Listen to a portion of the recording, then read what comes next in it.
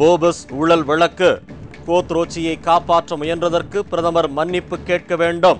பாஜக வலியுறுத்தல். சேலம் தேமுதிக மக்கள் உரிமை மீட்பு மாநாடு மிகப்பெரிய திருப்பு முனையை ஏற்படுத்தும். பிரேமலதா விஜயகாந்த் அறிவிப்பு. வெங்காயத்தின் விலை இன்னும் சில தினங்களில் குறைய வாய்ப்பு. பாகிஸ்தான் வெங்காயம் குவிகின்றது.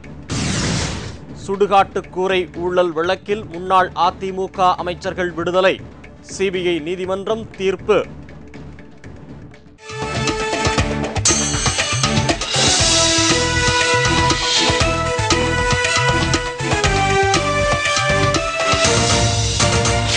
வணக்கம். வணக்கம். விரிவான செய்திகள். இத்தாலி தொழிலதிபர் கோத்ரோச்சி குற்றமற்றவர் என்று கூறியதற்கு பிரதமர் மன்மோகன் சிங் மன்னிப்பு கேட்க வேண்டும் என்று பாஜக வலியுறுத்தியுள்ளது. போபர்ஸ் ஆயுத பேர ஊழலில் இத்தாலி தொழிலதிபர் கோத்ரோச்சியும் அவரது மனைவி சதாவும் ஈடுபட்டுள்ளதாகவும் சுமார் நாற்பத்தி இரண்டு கோடி ரூபாய் அளவிற்கு வரி ஏய்ப்பு செய்திருப்பதாகவும் கடந்த மாதம் முப்பத்தி ஒன்றாம் தேதியன்று வருமான வரித்துறை மேல்முறையீட்டு தீர்ப்பாயம் சிபிஐயிடம் தனது அறிக்கையை தாக்கல் செய்தது.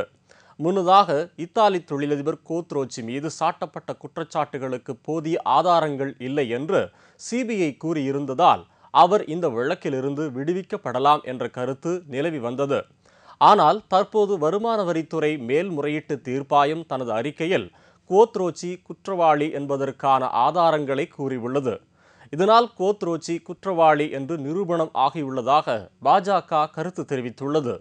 இந்நிலையில் கோத்ரோச்சி குற்றமற்றவர் என்று முன்பு ஒருமுறை பிரதமர் கூறியதற்கு நாட்டு மக்களிடம் அவர் மன்னிப்பு கேட்க வேண்டும் என்று பாரதிய ஜனதா கட்சியின் செய்தித் தொடர்பாளர் ரவிசங்கர் பிரசாத் தெரிவித்துள்ளார் Today, when the appellate tribunal of the government of India in the income tax, working with the revenue department, has completely exposed that your exoneration of Kotroki was wrong, would you apologize to the nation?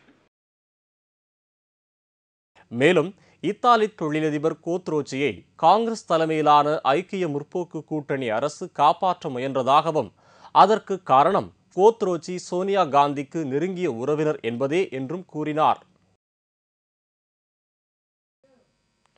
சேலத்தில் வரும் ஒன்பதாம் தேதி நடைபெறவுள்ள தேமுதிக மக்கள் உரிமை மீட்பு மாநாடு மிகப்பெரிய திருப்புமுனையை ஏற்படுத்தும் என்று கேப்டனின் துணைவியார் பிரேமலதா விஜயகாந்த் தெரிவித்துள்ளார்.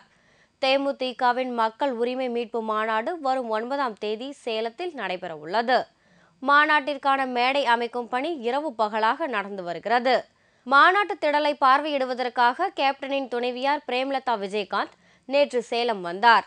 அவருக்கு மாவட்ட தேமுதிக சார்பில் உற்சாக வரவேற்பு அளிக்கப்பட்டது. மாநாட்டு பணிகளை பார்வையிட்டு ஆய்வு செய்த பின்னர் செய்தியாளர்களிடம் பேசிய பிரேமலதா விஜயகாந்த் இரண்டாயிரத்து ஐந்தாம் ஆண்டு மதுரையில் நடைபெற்ற தேமுதிகவின் முதல் மாநாடு இந்தியாவில் உள்ள அனைவரையும் திரும்பி பார்க்க வைத்தது போல் சேலத்தில் ஒன்பதாம் தேதி நடைபெற இருக்கின்ற மக்கள் உரிமை மீட்பு மாநாடு உலக தமிழர்கள் அனைவரையும் திரும்பி பார்க்கின்ற வகையில் அமையும் என்று தெரிவித்தார். ரெண்டாயிரத்தி அஞ்சில் மதுரையில் கேப்டன் அவர்களால் நடத்தப்பட்ட முதல் மாநாடு எப்படி இந்திய தமிழர்கள் ஒட்டுமொத்த மக்களையும் திரும்பி பார்க்க வச்சதோ அதற்கு மேலாக இந்த சேலத்தில் நடக்க போகும் இந்த இரண்டாயிரத்தி பதினொன்றாவது மாநாடு உலகத் தமிழர்களின் கவனத்தை நிச்சயமாக திருப்பும் வகையில் கவனத்தை நம்ம தமிழ்நாட்டு பக்கம் அவங்க கவனத்தை செல் செலுத்தக்கூடிய அளவு மிகப்பெரிய ஒரு மாநாடாக நிச்சயமாக அமையப் போகிறது. விலைவாசி உயர்வு லஞ்சம் அராஜகம் போன்றவற்றை ஒழித்திடவும் இருளில் மூழ்கிக் கொண்டிருக்கும் தமிழகத்தை மீட்பதற்காகவும் தான் இந்த மாநாட்டை கேப்டன் அறிவித்தார் என்று பிரேமலதா குறிப்பிட்டார். தமிழ்நாடு இன்றைக்கு மக்களுக்கு எல்லாருக்குமே தெரியும் விலைவாசி உயர்வு அநியாயம் அராஜகம் அது மட்டும் இல்லை லஞ்சம் ஊழலில் இன்றைக்கு இருளில் மூழ்கி கொண்டிருக்கும் நமது தமிழகத்தை மீட்டெடுக்க மக்களுக்கான உரிமை மீட்பு மாநாடாக இந்த மாநாடு நிச்சயமாக அமைந்து உலகத் தமிழர்கள் அனைவரின் நலனுக்காகவும் கேப்டன் அவர்கள் நிச்சயமாக பாடுபட்டு நமது தமிழகத்தை இருளிலிருந்து மீட்டு ஒளிமயமான தமிழகத்தை இந்த இரண்டாயிரத்தி பதினொன்றில் நிச்சயமாக அமைப்பார். அதற்கான பிள்ளையார் சொல்லி போட்டு ஆரம்பிக்கக்கூடிய இந்த மாநாடு தான் இந்த சேலத்தில் நடக்கப் போகிற இந்த மாநாடு என்பதை சந்தோஷமாக எங்கள் கழக நிர்வாகிகளோடு தெரிவித்துக் கொள்வதில் மிகவும் பெருமைப்படுகிறேன் வரும் சட்டப்பேரவை தேர்தலில் தமிழகத்தில் தேமுதிக ஆட்சி அமைக்கும் என்று நம்பிக்கை தெரிவித்த பிரேமலதா. மக்கள் உரிமை மீட்பு மாநாடு கேப்டனுக்கு மிகப்பெரிய திருப்புமுனையை ஏற்படுத்தும் என்று கூறினார். இதைத் தொடர்ந்து மாநாட்டு திடலில் நடைபெற்ற மகளிர் அணி மற்றும் தொண்டர் அணியினரின் பயிற்சியை பார்வையிட்டு ஆலோசனை வழங்கினார். அங்கு திரண்டிருந்த மக்கள் கூட்டத்தின் நடுவே பெண் குழந்தை ஒன்றிற்கு பிரேமலதா விஜயகாந்த் பெயர் சூட்டினார். இந்த நிகழ்ச்சியில் தலைமை கழக செயலாளர் பார்த்தசாரதி கழக கொள்கை பரப்பு செயலாளர் சந்திரகுமார் மாநில கழக துணை செயலாளர்கள் ஆஸ்டின் இளங்கோவன் மாநில இளைஞர் அணி செயலாளர் எல் கே சுதீஷ் மகளிர் அணி செயலாளர் உமாராஜ் கிழக்கு மாவட்ட செயலாளர் அழகாபுரம் மோகன்ராஜ் மேற்கு மாவட்ட செயலாளர் பார்த்திபன் மாநகர மாவட்ட செயலாளர் ராதாகிருஷ்ணன் உள்ளிட்ட நிர்வாகிகள் மற்றும் மகளிர் அணியினர் கழக தொண்டர்கள் உட்பட ஏராளமான மக்கள் கலந்து கொண்டனர். மற்ற நாடுகளை விட இந்தியாவிற்கு தீவிரவாத அச்சுறுத்தல் அதிகம் இருப்பதாக உள்துறை அமைச்சர் ப. சிதம்பரம் தெரிவித்துள்ளார். உள்துறை அமைச்சகத்தின் பாதுகாப்பு குறித்த அறிக்கையை அமைச்சர் ப. சிதம்பரம் புதுடெல்லியில் நேற்று வெளியிட்டு பேசினார். அப்போது கடந்த இரண்டாயிரத்தி பத்தாம் ஆண்டு உலக அளவில் முப்பத்தி ஐந்து பெரிய தாக்குதல் நடத்தப்பட்டதாகவும் அதில் இந்தியாவில் அதிகம் நடத்தப்படவில்லை என்றும்.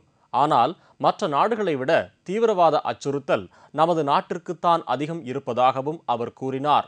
அதன் பின்னர் இந்தியாவிலேயே நடத்தப்பட்ட மிக கொடூரமான தாக்குதல் மும்பை தாக்குதல்தான் என்றும் ப. சிதம்பரம் கூறினார். மேலும் பாகிஸ்தானின் அணு ஆயுதங்களுக்கு லஷ்கர் இ தொய்பா தீவிரவாதிகளால் ஆபத்து உள்ளதாகவும் அப்போது ப. சிதம்பரம் குறிப்பிட்டார்.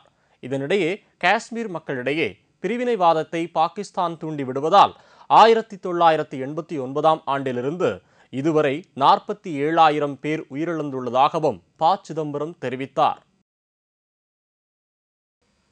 இன்னும் சில தினங்களில் வெங்காயத்தின் விலை நிச்சயம் குறையும் என்று டெல்லி முதலமைச்சர் ஷீலா தீஷிக் கூறியுள்ளார். கடந்த ஒரு மாதமாக வெங்காயத்தின் விலை கடுமையாக உயர்ந்து தற்போது ஒரு கிலோ எண்பது ரூபாய் முதல் நூறு ரூபாய் என்ற அளவிற்கு விற்பனை செய்யப்படுகிறது. இந்நிலையில் வெங்காயத்தின் விலையை கட்டுப்படுத்த மத்திய அரசு வெங்காய ஏற்றுமதிக்கு தற்காலிக தடை விதித்தது. மேலும் அண்டை நாடான பாகிஸ்தானில் இருந்தும் இறக்குமதி செய்வதற்கு மத்திய அரசு முடிவு செய்துள்ளது. அதன்படி இன்னும் சில தினங்களில் பாகிஸ்தான் வெங்காயம் நமது நாட்டில் விற்பனைக்கு வரும் என்று எதிர்பார்க்கப்படுகிறது. இந்நிலையில் டெல்லியில் செய்தியாளர்களை சந்தித்த முதலமைச்சர் ஷீலா தீட்சித் முன்னூறு மெட்ரிக் டன் வெங்காயம் பாகிஸ்தானில் இருந்து இறக்குமதி செய்யப்பட இருப்பதால் வெங்காயத்தின் விலை நிச்சயம் குறையும் என்று தெரிவித்துள்ளார். இதே கருத்தை கூறியுள்ள நிதியமைச்சர் பிரணாப் முகர்ஜி வெங்காயத்தின் விலையை கட்டுப்படுத்த தேவையான அனைத்து நடவடிக்கைகளையும் மத்திய அரசு எடுத்து வருவதாகவும் அதற்காக வெங்காயத்தின் இறக்குமதி வரியை முழுமையாக ரத்து செய்யும் அளவிற்கு நடவடிக்கை எடுக்கப்பட்டுள்ளதாகவும் கூறினார். சிபிஐ இதுவரை தன்னை விசாரணைக்கு அழைக்கவில்லை என்று சுரேஷ் கல்மாடி கூறியுள்ளார். காமன்வெல்த் போட்டிகள் நடத்தப்பட்டதில் பல்வேறு முறைகேடுகள் குறித்து நடந்து வரும் விசாரணையில் ஆஜராக தான் தயார் என கூறியிருந்தும். சிபிஐயிடமிருந்து இதுவரை எந்தவித தகவலும் வரவில்லை என போட்டி ஏற்பாட்டுக் குழுவின் தலைவராக இருந்த சுரேஷ் கல்மாடி கூறினார். புதுடில்லியில் நடைபெற்ற காமன்வெல்த் போட்டிக்கான ஏற்பாடுகளில் பல கோடி ரூபாய் முறைகேடு நடந்ததாக குற்றச்சாட்டு எழுந்தது. எதிர்க்கட்சிகளும் இது தொடர்பாக பிரச்சனையை கிளப்பின. இதையடுத்து சிபிஐ விசாரணைக்கு உத்தரவிடப்பட்டு காமன்வெல்த் போட்டிகளுடன் நேரடியாக தொடர்புடைய பலரது வீடுகளிலும் சிபிஐ அதிகாரிகள் அதிரடி சோதனை நடத்தினர். இதைத் தொடர்ந்து கடந்த மாதம் சிபிஐ அதிகாரிகள் தொலைபேசி மூலம் சுரேஷ் கல்மாடியுடன் தொடர்பு கொண்டு விசாரணைக்கு ஆஜராக வேண்டும் என கூறினர். இதை ஏற்ற சுரேஷ் கல்மாடி ஜனவரி மூன்றாம் தேதிக்கு பிறகுதான் விசாரணைக்கு வருவதாக கூறியிருந்தார். இந்நிலையில் புதுடெல்லியில் நேற்று செய்தியாளர்களுக்கு பேட்டியளித்த சுரேஷ் கல்மாடி இது தொடர்பாக விசாரித்து வரும் அனைத்து விசாரணை அமைப்புகளுக்கும் முழு ஒத்துழைப்பு அளிப்பதாக சிபிஐயிடம் தான் தெரிவித்த பின்னரும் சிபிஐயிடமிருந்து தனக்கு இதுவரை எவ்வித தகவலும் வரவில்லை என்று கூறினார். பீகார் மாநிலம் பூர்ணியா தொகுதி பாரதிய ஜனதா எம்எல்ஏ ராஜ் கிஷோரை ரூபங் பதக் என்னும் ஆசிரியை கத்தியால் குத்தி கொலை செய்த சம்பவம் அங்கு பெரும் பரபரப்பை ஏற்படுத்தியது.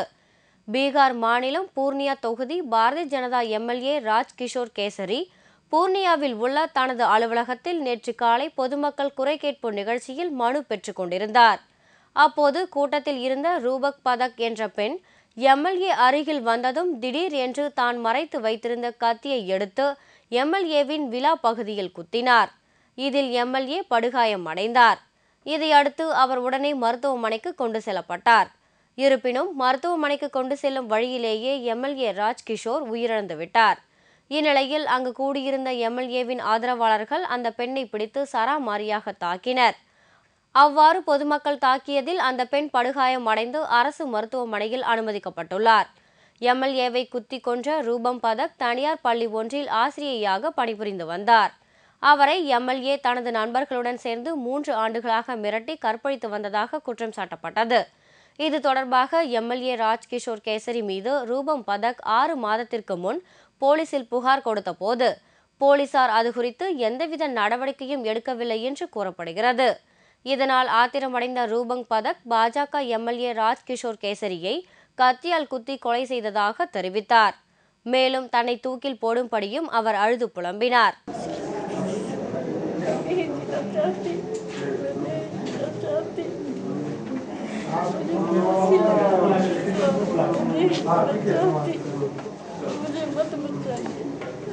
இந்நிலையில் இந்த சம்பவம் தொடர்பாக பாட்னா உயர்நீதிமன்றத்தில் தற்போது பணியில் உள்ள நீதிபதியை கொண்டோ அல்லது ஓய்வு பெற்ற நீதிபதியை கொண்டோ விசாரணை நடத்த வேண்டும் என்று காங்கிரஸ் கட்சி கோரிக்கை விடுத்துள்ளது.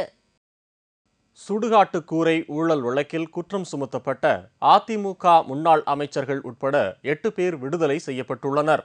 தமிழ்நாட்டில் அதிமுக ஆட்சி காலத்தில் சுடுகாட்டு கூரை அமைப்பதில் ஊழல் நடந்த விவகாரத்தில் சிபிஐ நீதிமன்றம் நேற்று தீர்ப்பளித்தது.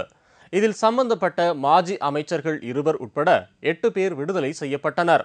ஜெயலலிதா முதல்வராக இருந்த ஆயிரத்தி தொள்ளாயிரத்தி தொன்னூற்று ஐந்தாம் ஆண்டில் தமிழ்நாடு முழுவதும் மயானங்கள் அமைக்கப்பட்டதில் மதுரை சுற்றுப்பகுதிகளில் ஊழல் நடைபெற்றதாக குற்றம் சாட்டப்பட்டிருந்தது.